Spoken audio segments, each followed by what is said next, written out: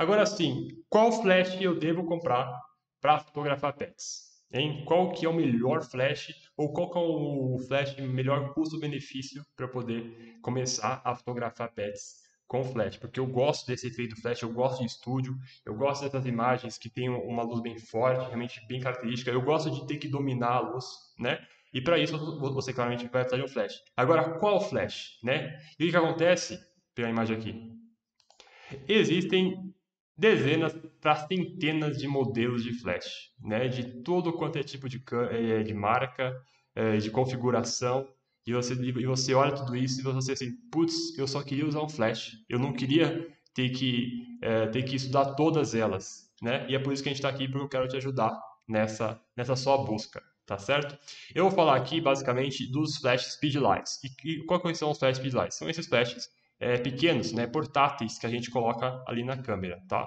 A gente não vai falar de tocha aqui. E o que acontece? Né? Como eu falei, existe uma grande variedade de modelos uh, e de marcas, né?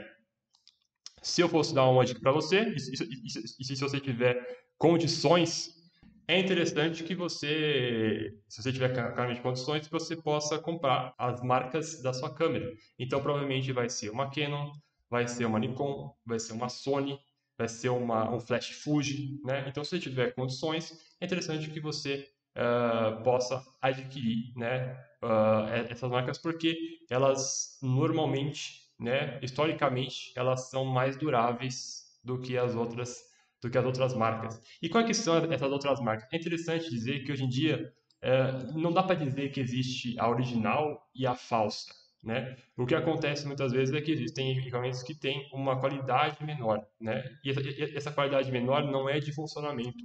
Essa qualidade menor é uma qualidade de, de durabilidade, né? Muitas vezes esses equipamentos eles acabam durando um pouco menos se você não tiver um bom cuidado com eles, né? Diferente de outras marcas que você consegue é, claramente cuidando também, né? Você, é, você consegue com que elas durem mais, né? Ou conseguem estressar elas, ou seja, utilizar elas por mais tempo e de formas mais intensas, né? Então, por isso que eu falo das marcas da, das, das câmeras e das lentes que você tenha o seu equipamento. Uh, uma outra coisa que eu queria falar é que as chinesas, né, as, as grandes marcas aí que você talvez já tenha ouvido falar, elas têm ótimo equipamento hoje em dia. Você somente precisa escolher as melhores entre elas. E essas duas hoje em dia são a Yongnuo e a, a Godox, tá? Entre as duas ali são, são as melhores, tá certo? Agora sim, entre, entre, as, entre as marcas, né, existem dezenas de modelos. Ok, já, já entendi de marca, agora quero entender de modelo. Uh, quais são os melhores modelos? Né? Quais são os modelos que, que são mais potentes? É, primeiro você precisa entender que você vai precisar do mais potente. Né? Às vezes, com, com mais simples, você consegue fazer todo tipo de fotos que você gostaria. Né? Então é importante você entender, entender isso, porque todos os flashes já são realmente extremamente úteis. Né? Uh, outra coisa aqui, claramente existem aqueles que são mais potentes que outras, né? Eu vou colocar uma imagem aqui embaixo.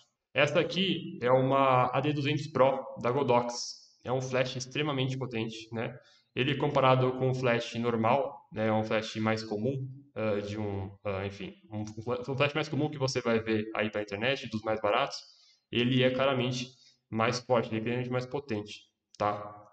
E também ele é mais caro, né? Então, se se você quiser realmente é, ter que pagar mais por isso, você vai, é, se você quiser mais potência, mais, mais funções, você vai ter que realmente pagar mais por isso e normalmente não é algo muito não, não é algo muito barato, né? Sendo que os primeiros uh, flashes mais simples, né, de, de, de, em questão de valor, eles já te atendem totalmente, tá? Uh, e outra coisa que é importante você ver, né, além disso, né, o, é, o, o, tanto de, é, do, é, do, que ele tem do seu modelo, você, é, é, interessante que você também veja quais são as funcionalidades dele. Né? Esse flash ele tem TTL ou se ele tem o High Speed Sync. Resumindo, porque enfim, daria para dar uma aula inteira sobre TTL e High Speed Sync, é, o TTL seria, entre aspas aqui, enfim, é, é fotógrafos, não me julguem, é, uma, é uma forma, é, um flash automático. Então, ele decide o quanto que esse flash vai ser forte.